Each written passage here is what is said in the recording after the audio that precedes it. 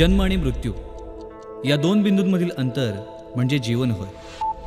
एका बिंदूकडून दुसऱ्या बिंदूकडे मार्गक्रमण करत असताना मनुष्य आपलं ध्येयनिष्ठ जीवन जगत असतो. जीवनाच्या या प्रवासात आजाररूपी अडथळे निर्माण होतच असतात. हेच अडथळे दूर करून जीवनगती निर्धोक राखण्यासाठी आधार देतं मॉडर्न होमिओपॅथी चला तर मग जाणून घेऊया मॉडर्न होमिओपॅथी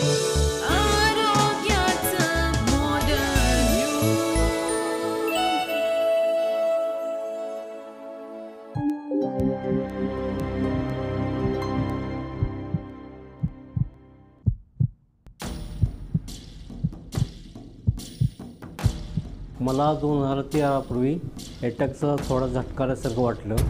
माझ्या छातीमध्ये दुखत होतं आणि दोन्ही हात उभे दुखत होते. म्हणून मला फलटण येथे गावाकडं फलटण ते तिथं ॲडमिट केलं होतं. त्या डॉक्टरने ॲडमिट करून घेऊन मला चार दिवस तिथं ठेवलं. त्यानंतर त्यांनी माझी टेस्ट केली. तर त्यांनी मला इकडं पुण्याला हॉस्पिटलमध्ये पाठवलं. आणि एन्जिओग्राफी करून घ्यायला सांगितलं त्यांनी. मग इथं आल्यानंतर इथं इंजुरगापैकी व- केली माझी. आणि त्यानंतर यांनी हृदयाचं ऑपरेशन करायला सांगितलं होतं मला. पण ती काय आम्ही केलं नाही. तर तेवढ्यात आमच्या मंडळीचं दुखणं मला माहीतच होतं. त्यांना जुलाबाचा त्रास होता आणि कॅन्सरचा त्रास होता. त्यामुळं मग आम्ही तिला औ औषध मान डॉक्टरांचं औषध सुरू केलं होतं आणि ते औषध त्या औषधामुळे त्यांना भरपूर म्हणजे प्रगती झाली ते- त्यांच्यात. आणि त्या पूर्णपणे बऱ्या झाल्या. त्याच्यामुळं आम्ही मान डॉक्टरांचा सल्ला घेतला. त्यांनी ऑपरेशन करायला मग सांगितलं नाही मला त्यांनी मग घेतलं औषध त्यांनी मान डॉक्टरांचं सुरू केलं मला आणि ते आता वर्षभर मी औषध त्यांची खातो आणि त्याच्यापासून मला पूर्णपणे बरं वाटते मला जिनाचं सुद्धा चढवून नव्हता तो आता चढ चढू शकतो मी जीना जिनासुद्धा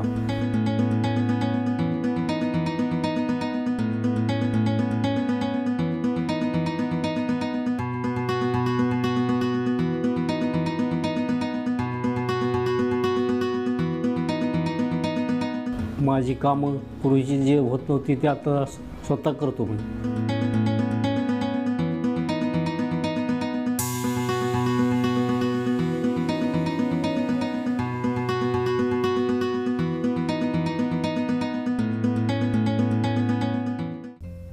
नमस्कार मी अनुश्री करंदीकर. आरोग्याचा मॉडर्न युग या आमच्या विशेष कार्यक्रमात तुमचं सगळ्यांचं स्वागत. गेल्या काही भागांमध्ये आपण अनेक दुर्धर आजारांची सविस्तर माहिती घेतली. आपण त्याच्याविषयी उपचार जाणून घेतले लक्षणं कारणंही पाहिली. आजच्या भागात आपण वळणार आहोत शरीरातल्या सगळ्यात महत्त्वाच्या अवयवाकडे आणि ते म्हणजे हृदय. अर्थातच हार्ट. हृदयाशी संबंधित जे आजार असतात किंवा हार्ट डिसीज असतात त्याविषयी आपण या भागात चर्चा करणार आहोत. आणि आपल्यासोबत आहेत modern होमिओपॅथीचे CEO doctor Vijay Kumar Mane. Sir कार्यक्रमात स्वागत आहे तुमचं. नमस्कार. नमस्कार मित्र. सर आपण बऱ्याचशा एपिसोडमध्ये बघितलं अनेक असे दुर्धर आजार आपण पाहिले मॉडर्न होमिओपॅथीचे उपचारही त्याच्यावरचे पाहिले. याविषयी आपण बोलणार आहोत परंतु हृदय हे सगळ्यात महत्त्वाचा भाग आहे शरीरातला असं म्हणायला हरकत नाही. आणि त्याच्याशी रिलेटेड अनेक आजार असतात किंवा हार्ट डिसिजेस जे आहे त्याचं प्रमाणही आज वाढलेलं दिसतंय आजकाल मोठ्या प्रमाणात. तर त्याविषयी काय सांगाल? कशा प्रकारे नेमके हार्ट डिसिजेस आपल्याला आढळून येतात? प्रामुख्यानं जो हार्ट डिसीज आहे तो म्हणजे कोरोनरी आर्टरी डिसीज आपण एक बोली भाषेत म्हणतो की रुग्णाला हार्ट अटॅक आला. हो. तर हार्ट अटॅक आला याचा अर्थ काय असतो? जी कोरोनरी आर्टरीज ज्या आहेत त्या कोरोनरी आर्टरीजमध्ये जे ब्लॉकेजेस होतात त्या ब्लॉकेजेसमुळं हृदयाच्या कामामध्ये अडथळा निर्माण होतो. हृदयाचा रक्तप्रवाह कमी होतो आणि हार्ट अटॅक येतो. तर त्याला म्हणायचं कोरोनरी आर्टरी डिसीज हा एक प्रमुख आणि प्रामुख्यानं आढळणारा आणि गंभीर स्वरूपाचा आजार आहे. जगातले अनेक लोक या आजारानं पीडित आहेत.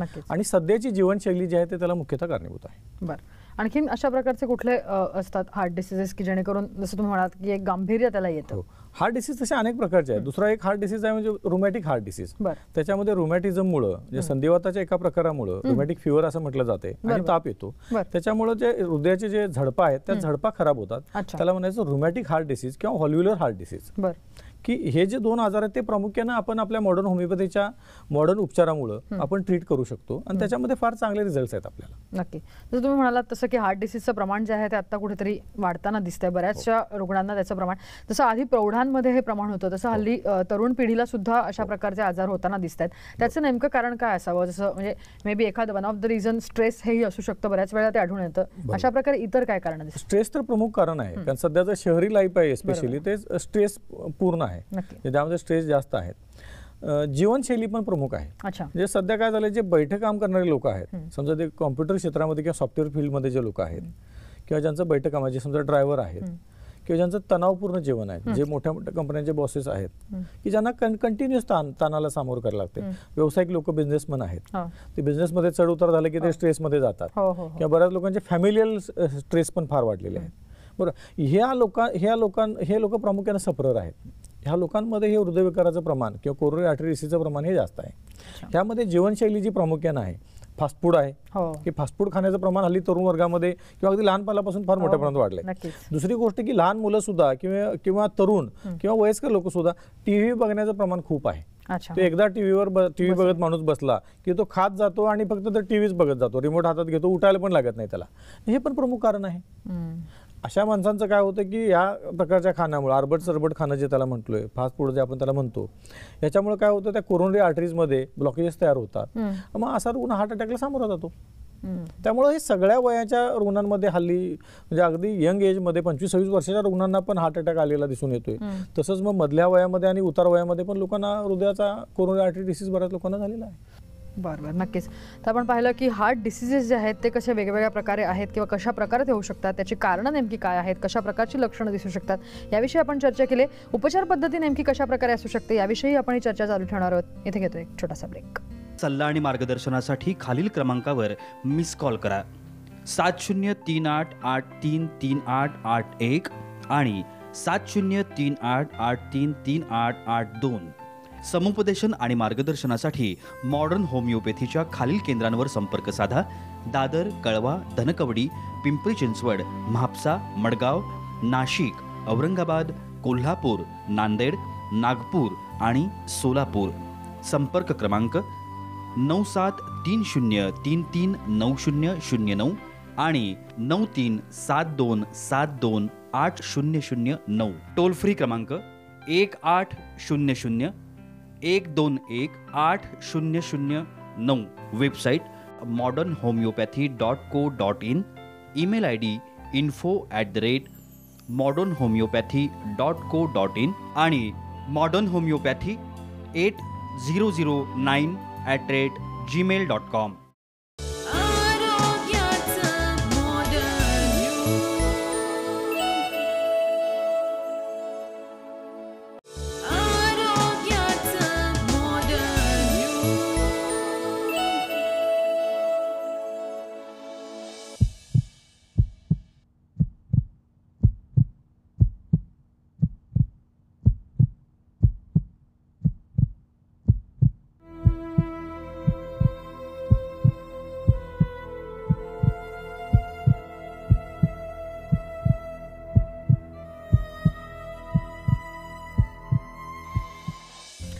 ब्रेकनंतर आरोग्याचं मॉडर्न युग या आमच्या विशेष कार्यक्रमात तुमचं सगळ्यांचं पुन्हा एकदा स्वागत. सर आपण बऱ्याच वेळा असं ऐकू येतं की स्मोकिंग किंवा धूम्रपानाचं प्रमाण जर का जास्त असेल तर त्याचाही इफेक्ट किंवा इम्पॅक्ट कुठेतरी हार्टवरती आपल्या होत असतो. हो, हो. तर ते कशा प्रकारे होतं? तंबाखू जे आहे ना तंबाखूमुळे काय होतंय की कोलेस्टेरॉल जे आहे बॅड कोलेस्टेरॉल जे आहे ते मोठ्या प्रमाणामध्ये साठलं जाते रक्तवाहिन्यांमध्ये. त्याचे प्लेक्स तयार होतात. आणि हे प्लेक्स काय करतात की रक्तप्रवाहाला अडथळा म्हणून निर्माण होतात. आणि ह्याला कारणीभूत स्मोकिंग आहे. तंबाखूमधलं जे निकोटीन आहे आणि इतर बरेचसे टार आहे हो. टार पण असते त्यामध्ये. प्रामुख्याने निकोटीन आणि टार आहे त्याच्यामध्ये. या टार आणि निकोटीन हे या प्रकारे काम करते. जसं तंबाखू कार्सिनोजेनिक आहे. कॅन्सर निर्माण करते. तसंच या गोष्टी पण तंबाखूमुळे निर्माण होतात. रक्तवाहिन्यांमध्ये अडथळा निर्माण करणं. नक्की. सो तुम्ही आता बोलताना कोलेस्ट्रॉलचा उल्लेख केला आता बऱ्याच वेळेला कोलेस्ट्रॉलच्या प्रमाणाची जी कमी अधिक प्रमाण जे असतं किंवा अधिक जेव्हा ते वाढतं कोलेस्ट्रॉल त्याचा कुठेतरी त्याचं प्रेशर जे आहे ते कुठेतरी हार्टवरती येताना दिसतं का? म्हणजे त्याच्यामुळे? कोलेस्टेरॉल असं एक समजलं जाते की जे बॅड कोलेस्ट्रॉल आणि गुड कोलेस्ट्रॉल जे आहे एलडीएल आणि एचडीएल ज्याला म्हटलं जाते लो डेन्सिटी लायपो प्रोटीन्स आणि हाय डेन्सिटी ह्या दोन्ही ह्याचं जे ह्यातलं बॅड कोलेस्ट्रॉल जे आहे ह्याचा परिणाम काय होतो की रक्तवाहिन्यांमध्ये जे मेद आहे जे प्लेक्स आहेत हे प्लेक्स वाढले जातात. मेद म्हणजे चरबी. चरबी. ही चरबी निर्माण होऊन वाढते. आणि त्याच्यामुळे मग रक्तप्रवाहाला अडथळा निर्माण होतो. आणि अशा प्रकारे हार्ट अटॅक यायच्या लक्षणाची सुरुवात होते. म्हणजे लहान लहान रक्तवाहिन्यांपासून. ते मोठ्या मोठ्या रक्तवाहिन्यांमध्ये पण ते कोलेस्ट्रॉल साठवून राहते चरबी साठवून राहते. आणि मग रक्तवाहिन्यांमध्ये जो अडथळा निर्माण होतो तो त्या त्या अवयवावर गंभीर परिणाम करतो. समजा जर मेंदूच्या रक्तवाहिन्यांमध्ये जर ते कोलेस्ट्रॉल जर चरबी जर साचून राहिली तर मेंदूचा रक्तप्रवाह कमी होईल. रुग्णाला पॅरालिसिस होईल. हार्टच्या ज्या रक्तवाहिन्या आहेत कोरोनरी आर्टरीज आहेत दोन त्याच्यामध्ये जर साचून राहील तर मग त्याला हार्ट अटॅक येईल. हृदयाचा रक्तप्रवाह कमी होईल. अशा प्रकारे कोलेस्ट्रॉल हे बॅड कोलेस्ट्रॉल हे अशा प्रकारे काम करत राहतं. आणि ह्याला कोलेस्ट्रॉलला वाढवायचं काम जे आहे हे. जे मेदयुक्त किंवा संपृक्त जे पदार्थ आहेत व्यसनं जी आहेत समजा तंबाखूसारखं व्यसन किंवा स्मोकिंग सारखं जे व्यसन आहे ह्याच्यामुळे त्याला बढावा दिला जातो म्हणजे वाढवलं जातं. बरोबर आहे. सर हार्ट अटॅक येण्याचं प्रमाण असेल किंवा हार्ट फेल्युअरही होता बऱ्याच वेळेला तर या सगळ्या गोष्टी असतात. परंतु हार्टचं जे मेन काम असतं किंवा पंपिंग असतं किंवा ते असतं त्याची त्याची सुद्धा कुठेतरी पॉवर कधीतरी कमी होताना दिसते किंवा त्याची हार्टची बिटिंगची जी क्षमता असते तीही कुठेतरी कधीतरी कमी होताना हो, दिसते. हो, तर ते नेमकं कशामुळे होतं? म्हणजे त्याचं कारण काय असतं? इलेक्ट्रिकल इम्पल्स एक हार्टमध्ये तयार होतो. अच्छा. इलेक्ट्रिकल इम्पल्समध्ये जर इलेक्ट्रिकल इम्पल्स योग्य प्रकारे तयार होत नसेल तर त्याच्यामुळे मग पंपिंग कॅपॅसिटी कमी होते. मग त्याला पेसमेकर बसवणं हा त्याच्यावरचा एक इलाज आहे. बर. ते एक कारण आहे की हार्ट अटॅक येण्यामध्ये काही वेळेला ते पण कारण असू शकतं की इलेक्ट्रिकल इम्पल्स त्याचा कमी होतो हार्टचा मग त्याच्यामध्ये हे पण कारण असू शकतं की साठलेली चरबी जी आहे वाढलेली चरबी जी आहे ते पण त्याचं एक प्रमुख कारण असू शकतं की त्याच्यामुळे ते इलेक्ट्रिकल इम्पल्स कमी होऊ शकतात. बरं बरं नक्कीच. तर आपण पाहिलं की हार्ट डिसिजेस जे आहेत ते कसे वेगवेगळ्या प्रकारे आहेत किंवा कशा प्रकारे ते होऊ शकतात त्याची कारणं नेमकी काय आहेत कशा प्रकारची लक्षणं दिसू शकतात याविषयी आपण चर्चा केली. उपचार पद्धती नेमकी कशा प्रकारे असू शकते याविषयी आपण ही चर्चा चालू ठेवणार आहोत. इथे घेतो एक छोटासा ब्रेक सल्ला आणि मार्गदर्शनासाठी खालील क्रमांकावर मिस कॉल करा. सात शून्य तीन आठ आठ तीन तीन आठ आठ एक आणि सात शून्य तीन आठ आठ तीन तीन आठ आठ दोन. समुपदेशन आणि मार्गदर्शनासाठी मॉडर्न होमिओपॅथीच्या खालील केंद्रांवर संपर्क साधा. दादर कळवा धनकवडी पिंपरी चिंचवड म्हापसा मडगाव नाशिक औरंगाबाद कोल्हापूर नांदेड नागपूर आणि सोलापूर. संपर्क क्रमांक नऊ सात तीन शून्य तीन तीन नऊ शून्य शून्य नऊ आणि नऊ तीन सात दोन सात दोन आठ शून्य शून्य नऊ. टोल फ्री क्रमांक एक आठ शून्य शून्य एक दोन एक आठ शून्य शून्य नऊ. Website modern homeopathy dot co dot in email I D info at the rate modern homeopathy dot co dot in आणि modern homeopathy eight zero zero nine at rate Gmail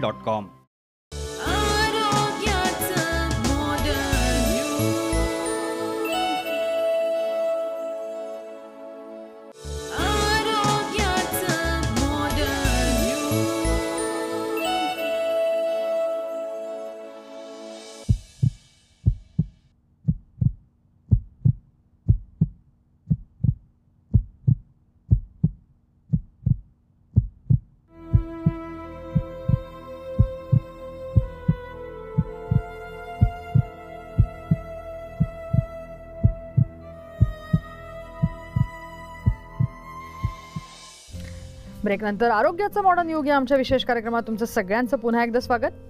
heart disease अर्थात हृदयाशी संबंधित आजार याविषयी आपण आता चर्चा करतोय. ब्रेकवर जाण्यापूर्वी आपण कशा प्रकारे हे हार्ट डिसीज असतात किंवा त्याची लक्षणं काय आहेत कारणं काय याविषयी जाणून घेतली. आपण उपचार पद्धतीविषयी थोडंसं बोलणार आहोत. सर आपण जसं बघितलं जसं की एलोपॅथीमध्ये किंवा कन्व्हेन्शनल जे उपचार किंवा ट्रीटमेंट आहेत त्या असतात किंवा आपल्या ज्या उपचार पद्धती आहेत त्या दृष्टिकोनातून थोडंसं आपण डिफरन्सिएशन करूया पुन्हा एकदा. आणि मला हेच विचारायचं आहे की एलोपॅथीमध्ये जी ट्रीटमेंट असते या सगळ्याला किंवा बऱ्याच वेळेला असं बघितलं जातं की हार्ट हार्ट अटॅक आलाय म्हटल्यानंतर काही एक इमिजिएट जी ट्रीटमेंट दिली जाते. त्याचा जो इम्पॅक्ट आहे तो कशा प्रकारे राहतो किंवा किती राहतो? जर हार्ट अटॅक कुणाला आला असेल तर त्यावेळेला ही आमची मर्यादा होमिओपॅथीची की आम्ही काही करू शकत नाही. अच्छा. हा. त्यावेळेला रुग्णानं बेस्ट वे सगळ्यात चांगलं ऑप्शन की ॲलोपॅथी हॉस्पिटलमध्ये ऍडमिट होणं आणि उपचार घेणं. कारण तात्कालिकरित्या जीव वाचवणं ह्यासाठी बऱ्याच वेळेला आयसीयूची गरज हो, हो. लागते इंटेन्सिव्ह केअर युनिटची गरज लागते. त्यामुळे आयसीयू मध्ये ऍडमिट करून उपचार घेणं हा सगळ्यात चांगला ऑप्शन आहे. अच्छा. पण प्रिव्हेंटिव्ह म्हणून आम्ही उपचार करू शकतो. किंवा जर ब्लॉकेजेस आहेत असं आपल्याला कळालं असेल समजा. कोरोनरी आर्टरी डिसीजमध्ये तर त्याला ॲलोपॅथीमध्ये जी ट्रीटमेंट आहे ती म्हणजे समजा बायपास करणं किंवा त्याला ओपन हार्ट सर्जरी करून बायपास रक्तवाहिनी दुसरी लावली जाते तिथं किंवा स्टेन टाकला जातो. ह्या गोष्टी आपण टाळू शकतो. आम्हाला असं दिसून आलेलं आहे बऱ्याचशा रुग्णांमध्ये की होमिओपॅथिक उपचारांमुळं जे ब्लॉकेजेस निर्माण झालेले आहेत ते ब्लॉकेजेस बऱ्याच वेळेला गेलेले दिसून आलेले आहेत. जे ब्लॉकेजेस आहेत ते अँजिओग्राफी नावाची टेस्ट आहे. हो. अँजिओग्राफीनं आपल्याला कळलं जातं की हार्टमध्ये या या ठिकाणी ब्लॉकेजेस आहेत, हो. आमच्याकडे काही रुग्ण असे आहेत की ज्यांना ओपन हार्ट सर्जरीचा सल्ला दिला होता. माझ्याकडे एक कांबळे नावाचे रुग्ण होते. त्यांना एका कार्डियक हॉस्पिटलमध्ये ॲडमिट केलं की हार्ट अटॅक आला म्हणून. ॲडमिट केल्यानंतर त्यांना आयमध्ये ठेवलं उपचार चालू झाले. उपचारांना पेशंट प्रतिसाद देत नव्हता. पेशंट हा कोमामध्ये गेला. कोमामध्ये गेला व्हेंटिलेटरवर गेला. व्हेंटिलेटरवर गेल्यानंतर त्यांनी सांगितलं की आता आमचे उपचार संपलेले आहेत. पेशंटला मॅसिव्ह हार्ट अटॅक आलेला आहे आणि पेशंट यातनं वाचू शकत नाही. मग आम्ही चित्रामध्ये आलो. आमच्याकडे पेशंटचे नातेवाईक आले. मला म्हटले सर काय करता येतं का बघा? पेशंट व्हेंटिलेटरवर आहे. तुम्ही जर काही करू शकत असेल तर पेशंट वाचू वाचता येईल वाचवता येईल. इन बिटवीन काय झालं? पेशंट व्हेंटिलेटरवर गेल्यानंतर कोमाटोज होता बेशुद्धावस्थेत होता. त्या पेशंटचं सगळं गाव त्यांना बघायला आलं. गावचे सगळे लोक येऊन बघून गेले की आता हे पेशंट काय वाचत. आणि यावेळेला आमच्याकडे लोक आले. आम्ही आमची औषधं चालू केली. आमच्याकडे इंटेन्सिव्ह केअर युनिट नसल्यामुळं. आयसीयू मध्ये त्यांच्या पेशंट ऍडमिट राहिला. त्यांना रिक्वेस्ट केली मी की बाबा उपचार आमचे चालू द्यात. आता पेशंट तुमच्या दृष्टीने तर काही करता येत नाही. आम्ही आमचे प्रयत्न करतो. आणि विशेष म्हणजे आपल्या उपचारानंतर सहाव्या दिवशी पेशंट जागा झाला. अच्छा. सहाव्या दिवशी पेशंट जागा झाला. तोपर्यंत पेशंटची अँजिओग्राफी केलेली नव्हती. पेशंटची हिस्ट्री होती की त्याला डायबिटीस होता. आधी क्रॉनिक स्मोकर होता. स्मोकिंगची हिस्ट्री होती. आम्ही तसेच औषध चालू ठेवले. एक महिन्यानंतर पेशंटची अँजिओग्राफी केली त्याच हॉस्पिटलमध्ये पेशंट बाहेर आला आठ दिवसानंतर डिस्चार्ज होऊन पण गेला. एक महिन्यानंतर अँजिओग्राफी केल्यानंतर नाईन्टी पर्सेंट बायोलॅटरल ब्लॉकेज दोन्ही रक्तवाहिन्यांमध्ये कोरोना आर्टरीमध्ये दिसून आले. पेशंटचे नातेवाईक परत माझ्याकडे आले म्हटले सर काय करायचं? आपण की असं असं नाईन्टी पर्सेंट ब्लॉकेज सांगितलं आणि त्यांनी ओपन हार्ट सर्जरी सांगितलेली हो, हो. आहे तर आम्ही विचार केला की अरे जर नाईन्टी पर्सेंट ब्लॉकेज जर आज असतील याचा अर्थ एक महिन्यापूर्वी ते शंभर टक्के असू शकतील. त्यावेळेला पेशंट कोमामध्ये गेलेला. आम्ही आम्ही ठरवलं आम्ही डिसिजन घेतला की आपण उपचार तसेच चालू ठेवायचे. सहा महिन्यानंतर आम्ही अँजिओग्राफीचे रिपोर्ट काढले मॅडम आपल्याला आश्चर्य वाटेल अँजिओग्राफीमध्ये काहीही नव्हतं. आज ह्या गोष्टीला चार वर्ष झालेत पेशंट नॉर्मल लाईफ जगतोय.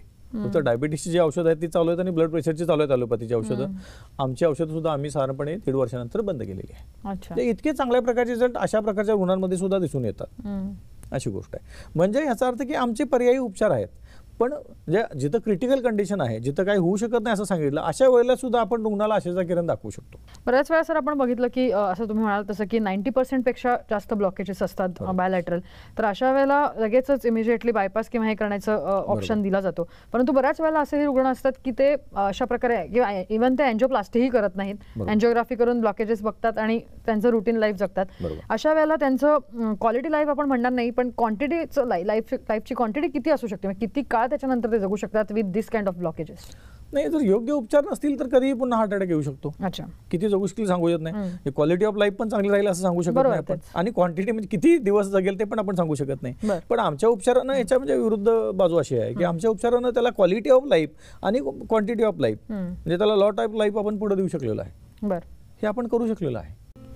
तर आपण पाहिलं की किती कशा प्रकारचे हार्ट डिसीजेस आहेत. दोन्ही प्रकारचे हार्ट डिसीज आपण बघितले त्याची लक्षणं कारणं आणि उपचार पद्धती नेमकी कशा प्रकारे असू शकते याविषयी आपण सविस्तर चर्चा केलेली आहे. तर तुम्ही याविषयी एवढं छान मार्गदर्शन केलं त्याबद्दल धन्यवाद. सल्ला आणि मार्गदर्शनासाठी खालील क्रमांकावर मिस कॉल करा. सात शून्य तीन आठ आठ तीन तीन आठ आठ एक आणि सात शून्य तीन आठ आठ तीन तीन आठ आठ दोन. समुपदेशन आणि मार्गदर्शनासाठी मॉडर्न होमिओपॅथीच्या खालील केंद्रांवर संपर्क साधा. दादर कळवा धनकवडी पिंपरी चिंचवड म्हापसा मडगाव नाशिक औरंगाबाद कोल्हापूर नांदेड नागपूर आणि सोलापूर. संपर्क क्रमांक नऊ सात तीन शून्य तीन तीन नऊ शून्य शून्य नऊ आणि नऊ तीन सात दोन सात दोन आठ शून्य शून्य नऊ. टोल फ्री क्रमांक एक आठ शून्य शून्य एक दोन एक आठ शून्य शून्य नऊ.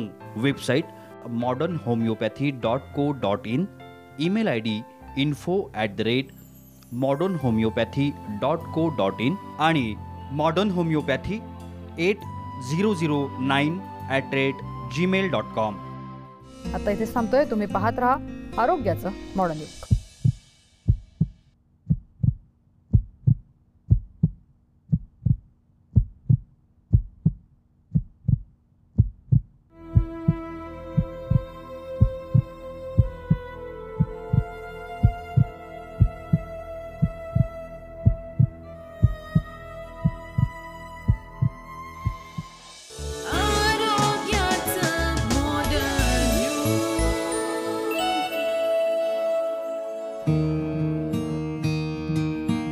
होमिओपॅथीमधील जवळजवळ दोन दशकांचा दीर्घ अनुभव असलेले modern होमिओपॅथीचे founder doctor Vijaykumar Mane M D homeopath यांचं दुर्धर आजारांवरील प्रदीर्घ संशोधन अनेक रुग्णांना आज नवजीवन मिळवून देत आहे.